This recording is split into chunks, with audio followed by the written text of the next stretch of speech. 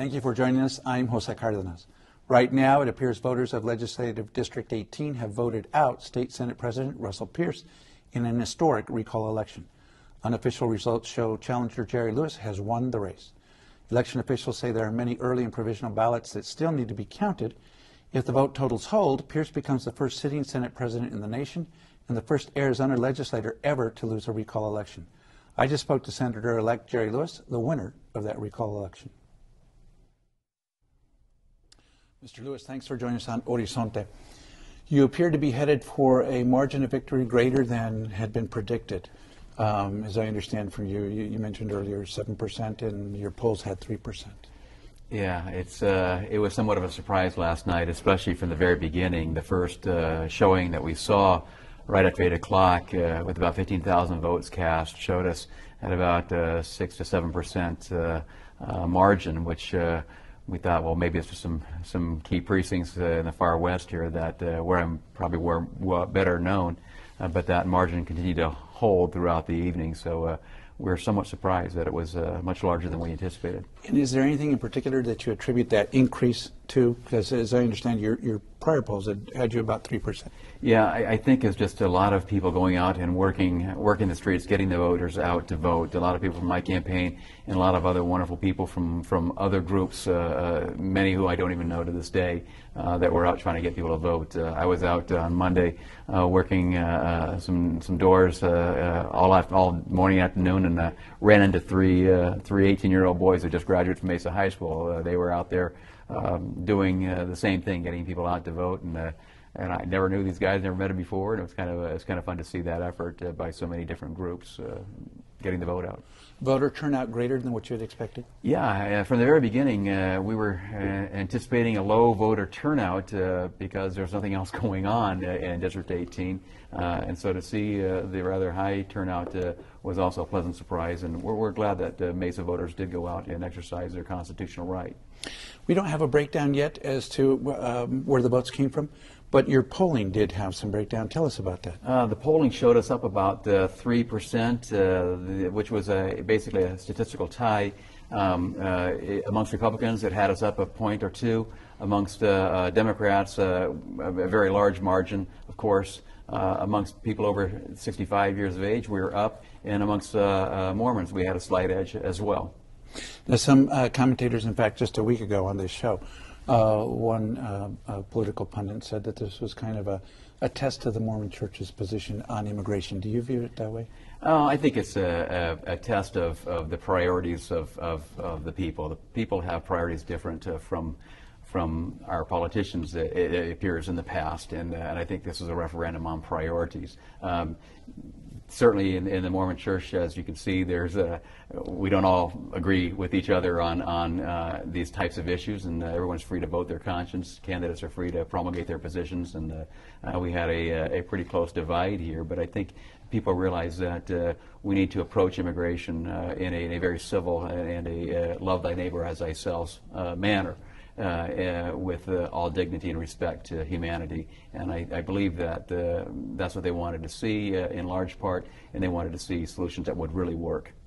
The suggestion has been by some that it wasn't Russell Pearce's position on immigration that did him in, but his focus on it to the exclusion perhaps of other issues that currently may be of greater importance. And, and certainly the people of Mesa uh, are amongst those in the state where we have a 9.1% uh, unemployment rate. Uh, almost one in 10 um, uh, uh, workers are out of work. Uh, that's unacceptable. And those issues which affect the citizens of Mesa, like the economy, jobless rate, education, those were so important, but it seemed like uh, so much of our efforts were being spent on this one issue of immigration to the exclusion of those. And uh, uh, I think uh, they finally said enough is enough. We need to move on.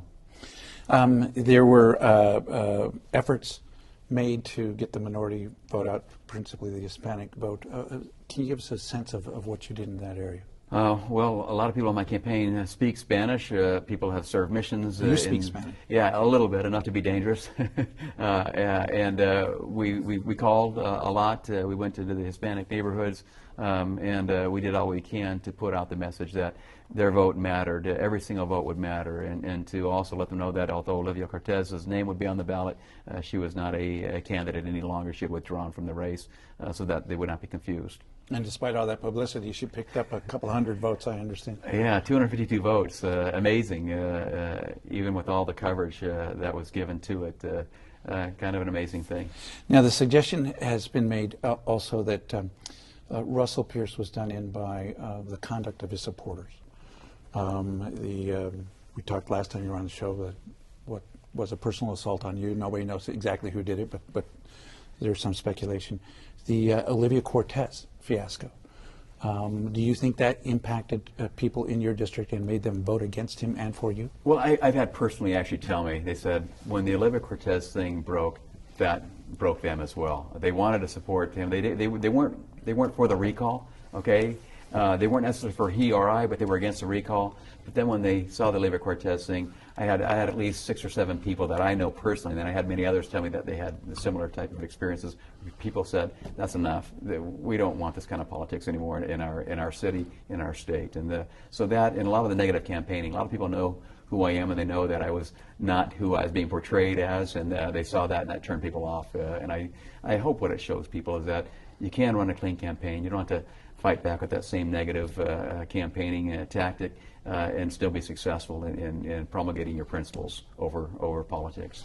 And that was one of the other things some of the observers have, have noted that uh, that may have backfired on, on Senator Pearce. Um, uh, traditionally, um, uh, somebody who concedes an election, as Senator Pearce appeared to on election night, uh, makes a, a, phone call to the winner. Uh, did you get one from Senator Pearce? not yet. you expect to get one? Um, I don't know. Uh, this is my first time. I'm not a politician, so I'm not sure if that's what happens all the time or it's just national elections. So I, am not sure. I haven't, uh, I haven't really given it much thought. Now, you did talk on some interviews uh, on, on um, one of the TV stations, for example, about the need to to do some healing, some mending. You mentioned mutual friends or people who who uh, both you and Senator Pearce know and respect, and uh, some outreach that perhaps needs to be done. Uh, yeah, definitely, and I, I, was so pleased with uh, uh, several several people from the legislature have called me. Uh, people that were supporters of mine all along, they called me. But I was really impressed to see uh, one one representative from my district, Cecil Ash, call me today and congratulate me and, and offer to, to do everything he can to help me be successful. And uh, that was very kind. And um, you know, people that Russell and I know that aren't in the legislature as well. we haven't necessarily become enemies over things, and some of the, some of the people that are very close to him and very close to me we're still very, very good friends, and we remain good friends throughout that situation. And we, we used to say, when this is all over, we got to go out and, uh, you know, do a bike ride or, or have dinner or do something like that so we can just get back with our lives here and, and move forward. I want to talk, speaking of the legislature, I do want to talk about what's going on there and your involvement.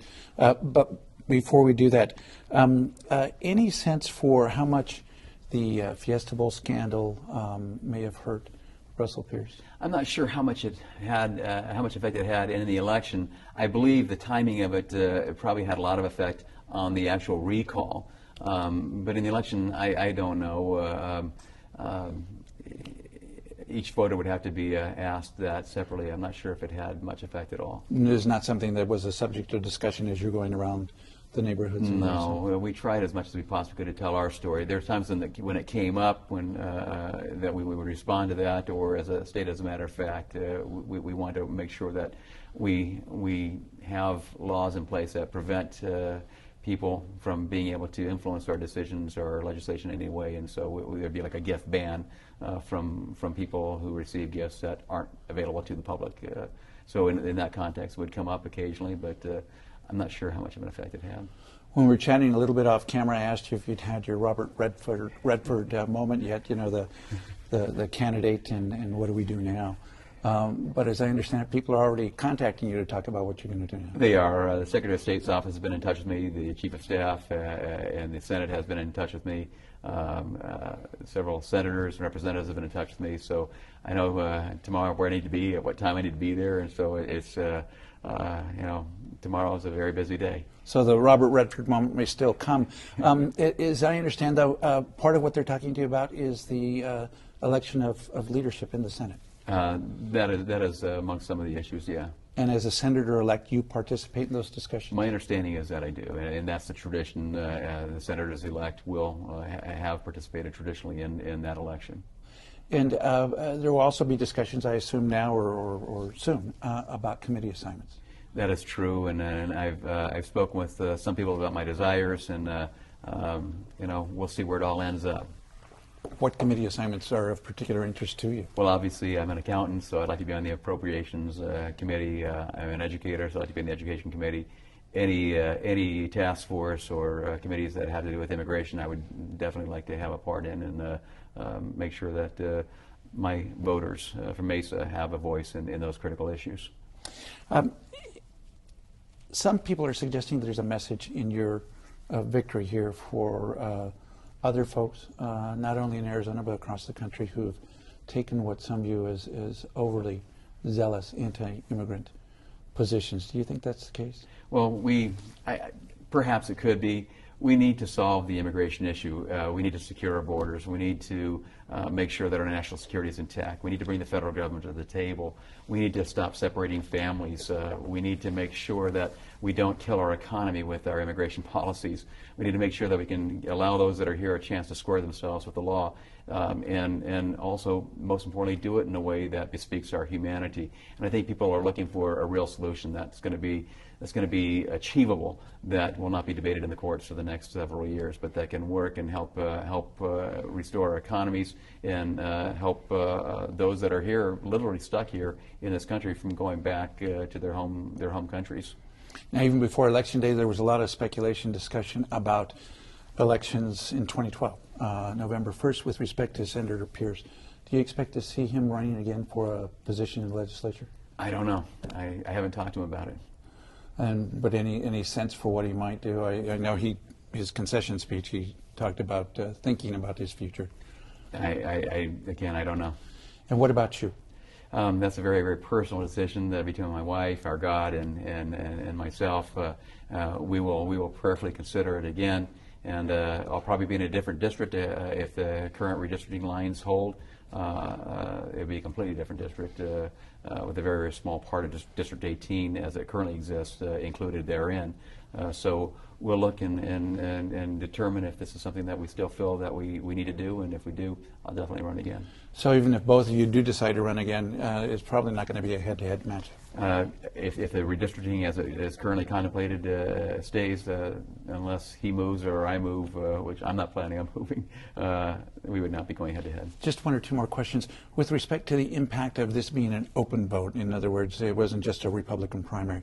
Number one, do you think you would have won in a in a Republican primary? Well, if- we look at the polls, uh, yeah, And, and, and number two, people are suggesting that this will provide a great impetus to the move to have open primaries. Uh, do, do you think that'll be the case? And do you think that's a good thing? Well, I think uh, we, we've got to we've got to look for ways uh, as ways are discovered to make sure that we vote in the most responsible way, so that we can have the best government, one that's not stuck in polarized uh, points of view, one that works forward to address the issues of the people. And if we can find a better way to do that, I'm open to that discussion. Senator-elect Jerry Lewis, congratulations on your apparent win, and thank you for joining us on Horizonte. Thank you very much, Jose.